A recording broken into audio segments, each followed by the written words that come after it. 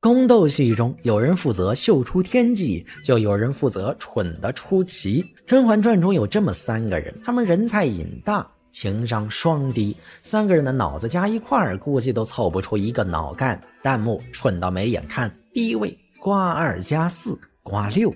笨蛋美人瓜六到底有多不会说话呢？用一句话来概括就是：领导夹菜他转桌，领导开门他上车，回回都能精准踩中宜修的雷点，简直是五倍楷模。众所周知，宜修的一生有两大痛，第一痛是他庶出的身份，出身卑微又如何？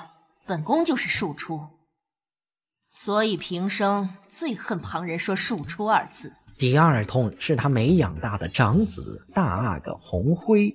红辉若还在，一定比三阿哥长得高些，长得更加好看些。这两件事在后宫里从来不是什么秘密，可以说，但凡有点脑子的都知道要避开宜修这两个雷区，小心说话。可惜瓜六这脑子实在没这方面的觉悟，一张心直口快的嘴，各种戳领导的肺管子。瓜六进宫后不久，宜修携众嫔妃一句清音阁，看戏、喝茶、聊天，气氛好不融洽。就在这时，瓜六开始作死了。臣妾家里有两个庶出的妹妹，臣妾和他们说不上话。可是见了娘娘，臣妾心里却有好多心里话要说。听到“庶出”这两个字儿，别说是宜修本人，就是一旁的安小鸟，是满脸都写着。这是可以说的吗？更离谱的是，当瓜六意识到自己说错话，居然还一直蹲着请罪。难道他不知道他请罪了多久，一休就让射死了多久吗？还有甄嬛诞下龙凤胎那一次，瓜六只顾一味的诅咒甄嬛，说出来的话完全不过脑子。生下来算什么本事？养得大才算本事。听了宜修白眼一翻，差点没把瓜六嘎了。说真的，若是大阿哥泉下有知，听了这话，估计都得爬起来问瓜六一句：“你礼貌吗？”对敌人没有啥杀伤力，对自己人那叫一个稳准狠。要我说，就瓜六这表现，宜修能忍他这么久，都称得上是个奇迹了。和齐贵人说话确实累。第二位搞笑沙雕齐二哈，齐妃姐姐日渐丰腴，皇上见了一定会喜欢的。多谢妹妹金口，连讽刺还是赞美都分不清。齐二哈，你这是要笑死我吗？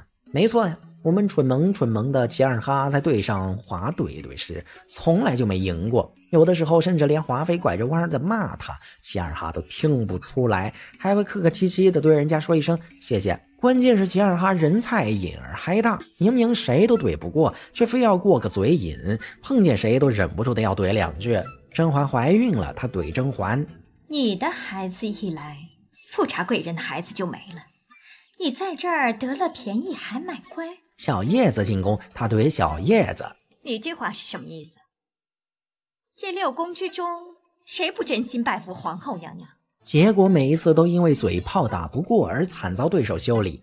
你说说，怼人都怼不过，更别说实名制下毒这种蠢的没边儿的事儿了。可即便如此，在一直怼一直输的路上，齐尔哈乐此不疲，时刻都不忘刷一刷自己后宫第一蠢妃的存在感，在下佩服。不过智商不够，或许还能忍，毕竟不排除傻人有傻福这种可能。但情商若是太低，可就没法救了。接下来，欢迎收看《甄嬛传》著名经典之粉色娇嫩。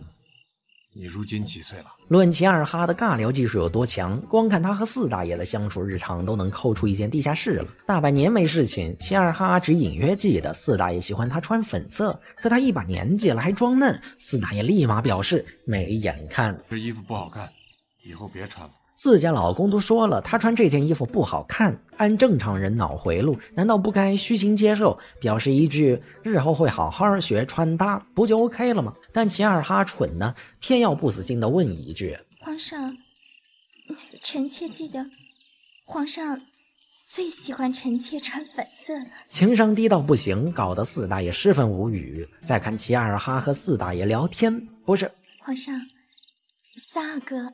又长高了，就是他那套养娃理论，难怪四大爷不爱见他。第三位怕鬼的富察贵人，既然是皇上的心意呀，贵人你就好好留着吧，最好拿个香啊给他供起来。你说你这涂在脸上，风吹日晒的，再把皇上的心意给晒化了。但听富察这个姓氏就知道，富察贵人的出身可不简单。想当初，在一众入选的秀女中，只有三位被封为贵人，她就是其中一位。家世容貌皆属上乘。可越看后面的剧情，观众就越想问：富察家精心教养出的姑娘，就这智商？其实一开始富察贵人的智商还算在线。新人合宫觐见的时候，四季姐曾不知死活的在华妃跟前说：“这华妃这样声势浩大的，是做给谁看啊？”当时富察贵人还很守规矩，知道夏冬春这样做根本就是在作死，所以压根儿不想搭理他。但在富察贵人怀孕后，她的双商就开始齐齐的掉线了，连华妃这种有家室有宠爱的地头蛇都敢随便惹了。富察贵人有孕，本宫好心让宋芝送了一盘红枣山药膏去，谁知富察贵人仗着有孕也不起身谢恩，真是大胆。甚至一怀孕，她就觉得自己金贵了。今天犯恶心，明天不舒服，一天一个借口，想尽办法把四大爷请到延禧宫来陪她，弄得四大爷是烦不胜烦。你怎么连自己是撑着了还是真不舒服都分不清楚？至此，后宫里有权有势的人，他已经得罪三个了。衣袖不用说，谁怀了孕都是他的眼中钉。富察贵人油嫌不够，用四大爷赐的荷香粉儿四处炫耀，各种得罪人。从齐二哈，这是内务府新制的脂粉，皇上临走前特意吩咐的，让他们精心制作，供我使用。再到甄嬛，婉贵人的鼻子可真灵啊！这是皇上特意让内务府为我制的。最后，要不是辛巴基怼他，富察贵人还能继续炫耀。然而，太把自己当回事儿的后果，就是招来更多人的算计。富察贵人小产后，甄嬛紧接着怀了孕，这也让她彻底恨上了甄嬛，觉得甄嬛的孩子克死了她的孩子。等甄嬛小产后失宠，拎不清的富察贵人再度犯蠢，借齐二哈的手，在长街狠狠给了甄嬛一顿羞辱。婉嫔娘娘可不要生气呀。这点委屈，还请娘娘你笑纳。殊不知三十年河东，三十年河西。富察贵人不刺激甄嬛还好，被他这么一刺激啊，甄嬛直接狠下心，通过倚梅园复宠，逆风翻盘了。这下子就连不聪明的钱尔哈都忍不住的责怪富察贵人的蠢。那日为难婉嫔也罢了，罚跪也不说，你还给他那么大的羞辱。现在好了。婉嫔一时手腕，他就得势了。而这个时候，富察贵人的想法还是一如既往的单纯，说咱们一加一大于二，肯定能赢。况且他是个嫔位，我是贵人，娘娘您是妃位，这二对一，你有什么可怕的？齐尔哈无语，这孩子怕不是个傻的吧？如此蠢笨，难怪会被甄嬛一个故事就吓疯了。好了，以上这三位心眼儿还没针尖儿大的蠢妃，你觉得谁最蠢呢？评论区见。